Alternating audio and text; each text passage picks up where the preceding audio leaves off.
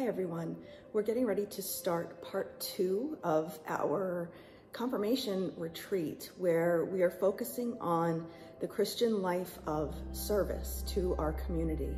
And what you'll hear in this next section are um, reports from your fellow confirmands about the service that they've completed uh, since our last session in October.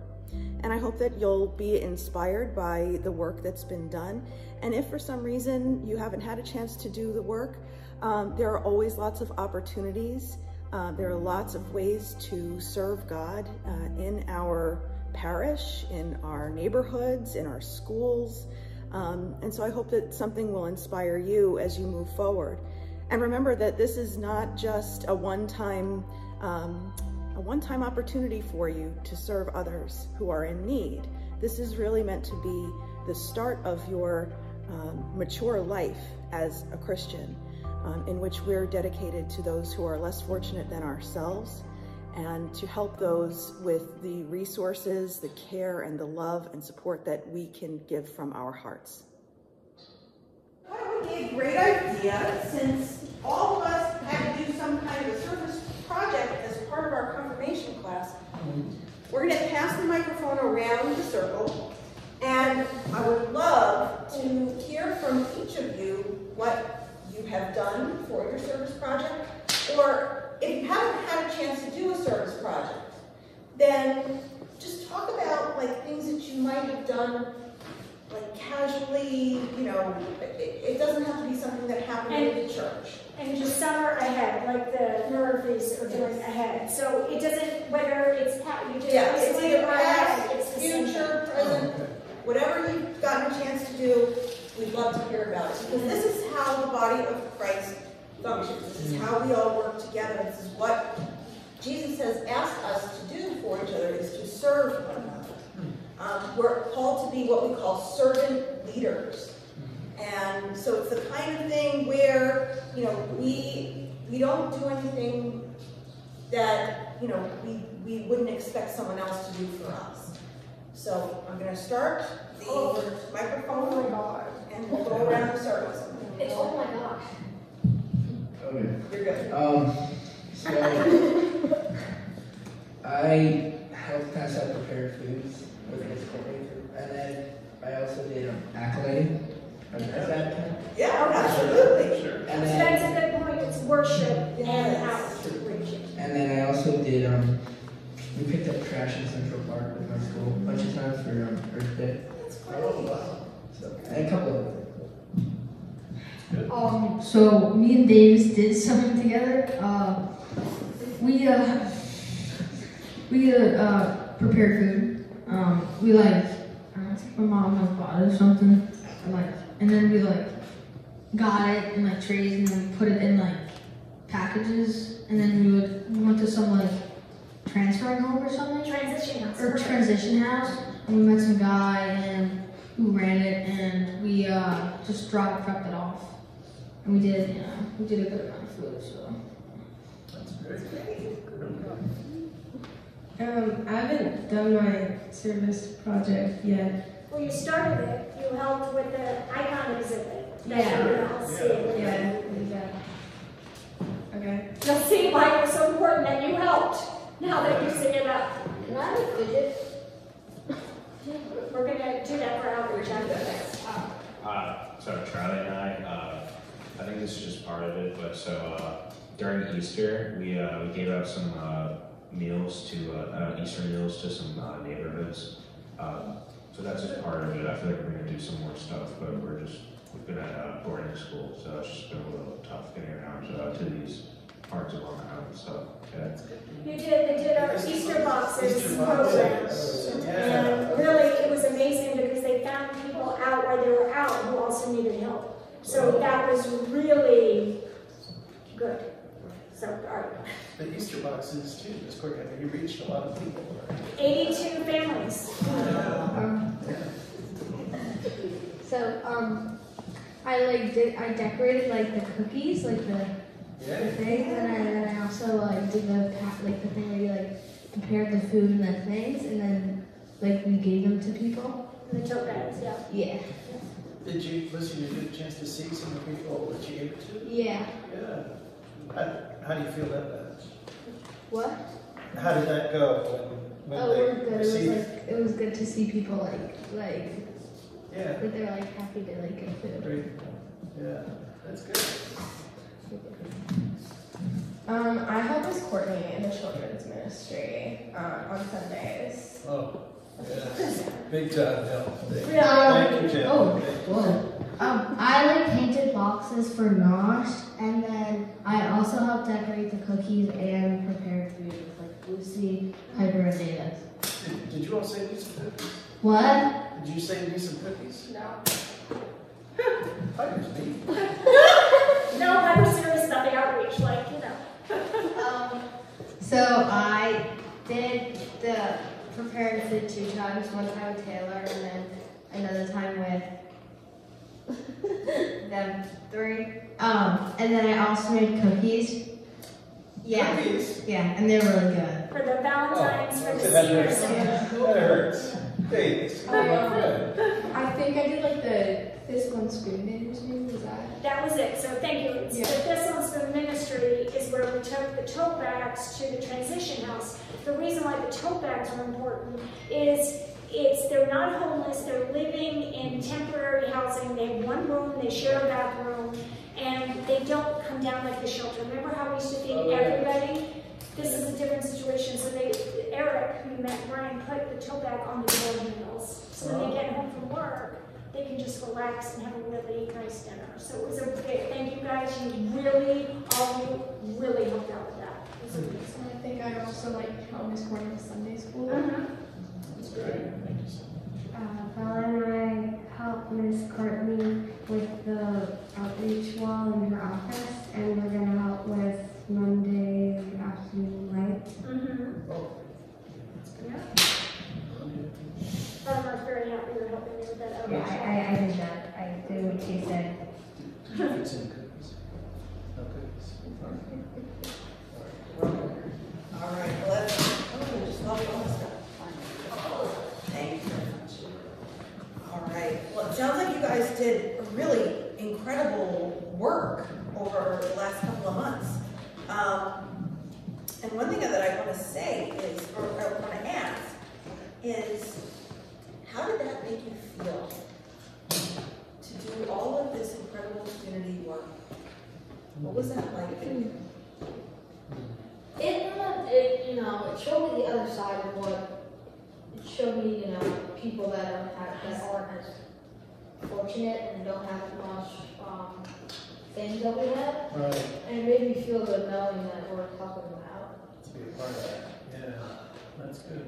Uh, when we were giving out the uh, food, I think it was the second meal, it was, uh, it was a really rough neighborhood. There was, uh, there was definitely, uh, there was like a bullet hole in the windows and stuff. It was, it was like really rough. Uh, and so as we were leaving, one of the, uh, houses we gave, a guy kind of looked out his window and he asked if he could be on the list for uh, some of the meals we were giving out. So Oh, right, right. That was just definitely a little hard for me. Yeah. Charlie, you- Um, Yeah, sure. it feels good getting people who aren't as like food and I guess cookies too. Um, and and um, I'm glad like that they're being helped and um, yeah. Charlie, I'm sorry. I didn't Yeah, just get that you. was good. So Peter and I did some different uh, trips. I was making food. I think I was proud of. But basically, they went out, they gave me food, and then they came back, and it was my turn to do it with them. Um, and mom, my mom and I, we drove over to a different area that was also in pretty rough shape. the orchard, right? I don't know if it was, I don't think it was. But, no, it was different person. And it was in a very rundown building, like, I was, yeah, I guess like a building. And, uh, we called the man who we were giving the food to, and then he opened the window and we gave it to him. But, I mean, seeing it, I mean, it, the place smelled like weed, and all of it was very, I mean, very, It was no. Oh my god. Wait, you want some? Not yet. So, basically just um, seeing it.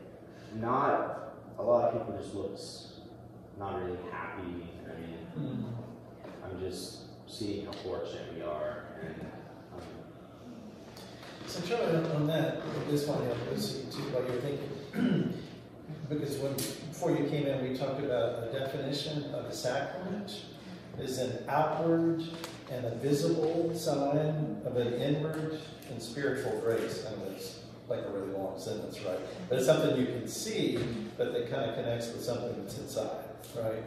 So, Charlie, as, as you were saying too, and Peter, and the rest of you, I know we got some other, is you can see, right, Taylor, uh, something in someone who needs help. Yeah, you can kind of, you can just see by the way, they may not like be as like representative, and they may not talk as loud, and they may not Yeah, be like as happy. You can Right. of like see it in the way you can see it. Yeah. And then the, the inward and spiritual grace part is like, I'm grateful to God that I'm able to give something back, right? Even whatever it is. And so that, what you're doing, and I'm, I'm sorry to, if you've got some other people, that's like a sacrament. Mm-hmm. It, it, it's sacramental work. Putting like church language on top of something and you're trying to figure out what it is and while we're here, what we're confirmation is a sacrament, and what you're doing is confirming your faith by these service. And another quick thing that I just want to say is that you never know the impact you have. That's Yeah. between them God, because children, you don't always see the children, but when they sit down to that meal that every family put together and throws in extras, because we can't help ourselves. When the children sit at the table, clearly with a meal that they're, know may not have been purchased by the family, they know that somewhere on this planet, People care. Yes. and that is the first step to God if they haven't been taught. They that stays with them. And that just then it catches connects to other things for them. So what you do for one child, you may not know, but you know that God has a plan. So, Jenna, when we were just coming in, you and uh, Kate London were putting up you know, here, which is you know, part of service, is you help. But what I was thinking, you did you hear Kate? Kate said she's away at school, Yeah. right? and one thing she told us guys is that when she's away at school, that somebody at their church connected her with another family uh, for Easter, I think it was, or something. And so, in that sense, Katie was Taylor like the family, Charlie Peter, you know, that you're helping, somebody was helping her. So it doesn't mean that it has to be with a house with a bullet hole in it, you know, or somebody um, that's smoking pot or someone's making bad choices in their life. I mean, those unfortunately things happen. But we can be in that place where we need help too, right? I mean, so that uh, service is sort of important. Yeah. Also, um, in the house that I went to, I saw like um a whippet like canister. Like I saw, I saw one at the house. I was know the one? Now what so Or was that for something else? It's like a, it's like a can of like compressed gas, and you like, and I think I seen on on TikTok. So, like, you know what, Th- that's a good point. When you see someone doing hot or you see what they, that person's in pain. Right. They haven't, they don't have a plan. We have a plan. We have the Bible.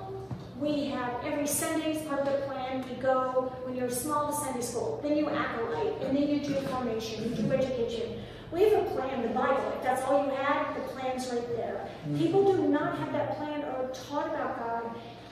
Everyone has a certain amount of pain, small, mm-hmm. big, that you go to addictions to, but the thing is, eventually those addictions don't work and you have to deal with the pain. So by you going to give a tote bag, that seems so small, but you know what? When you're in trouble and something happens out of the blue that's a kindness, Mhm. That is a way to God. Never underestimate the tiniest smile you can give someone, or you know, whatever God calls us in a day to do something big, do something little.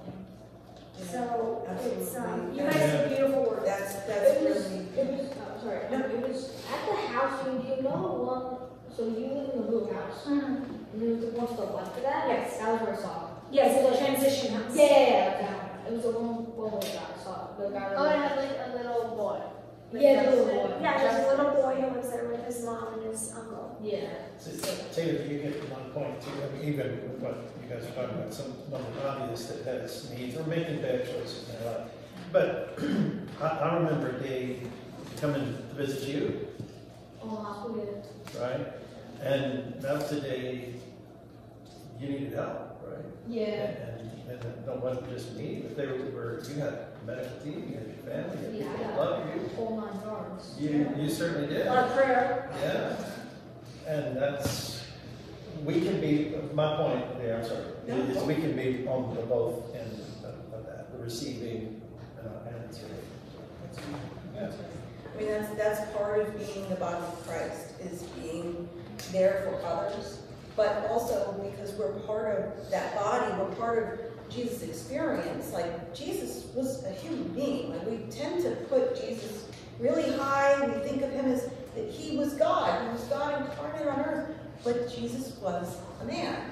And he experienced a lot of the same kinds of pain and difficulties that all kinds of people go through.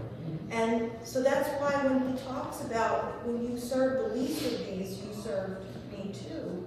It's the same kind of thing that happens in your service that you've all done. Whether you fed someone, whether you've been compassionate to someone, you gave someone a hug who was hurting, you you took care of somebody, you were hmm. thoughtful and, and realized that, you know what, not everybody has the life that I have, or, you know, I might have some privileges that others don't. That's your serving Christ. So that's all of what your service accomplished was for you to participate in that ministry and that life of Christ and serving Christ by serving others. I want to just underline what Mother Catherine just said there, because other world religions, you know, uh, even non-religious people uh, that we respect uh, as Christians, we absolutely respect uh, other world religions and people who are doing good work. Um, most human beings want to do good. I say most. But for to be a Christian is, is what she just said, is we do because Jesus has asked us, called us to do that good work. So on that note, we have some more good work that we can do for others, and Ms. Courtney has a Fidget Drive project um, that we can all help with at this time. So- At this time in our program, our confirmands helped Miss Courtney to put together some fidget packages for children who were dealing with autism spectrum disorder. And um, all of the participants helped to create some beautiful uh, packages for those kids with a fidget inside. Um, so that was our service project that we were all able to complete on this day at our confirmation retreat. Stay tuned for our next session.